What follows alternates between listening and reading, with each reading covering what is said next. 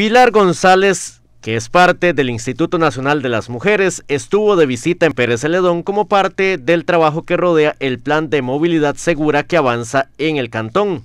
Me invitaron a hacer una visita de campo para conocer eh, en, in situ, ¿verdad? En la realidad, este, las primeras experiencias para las primeras experiencias del del plan de movilidad con enfoque inclusivo y con enfoque sostenible.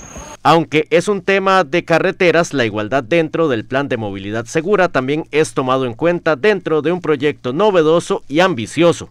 A nosotros como INAMO nos interesa eh, que la política de igualdad llegue a todas las regiones del país.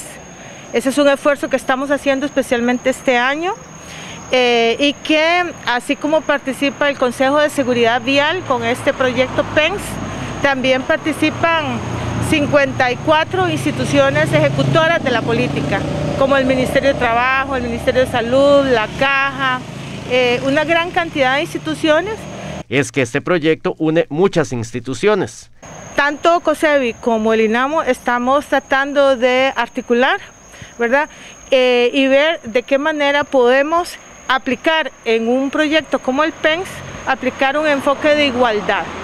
Es decir, hay que pensar también que en, las, la movilidad eh, está también eh, mediada, ¿verdad? En la movilidad se mueven personas, hombres y mujeres, y se mueven diferente, ¿verdad?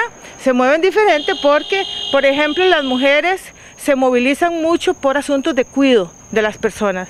Ellas son las que mayoritariamente han tenido a cargo el trabajo del cuidado de la familia. Entonces ellas necesitan ir al hospital, después se trasladan para la escuela, después se trasladan a hacer compras, ¿verdad? Entonces los espacios que se construyen en las ciudades tienen que ser espacios eh, que faciliten esa movilidad de las personas y de las mujeres. El ambiente también es un pilar fundamental dentro del plan de movilidad. Esto también tiene que tener un enfoque, este, un enfoque verde, ¿verdad? Un enfoque de cuidado, de la, cuido y protección del ambiente, de hacer eh, medios de, de transporte más sostenibles, ¿verdad? Como la bicicleta.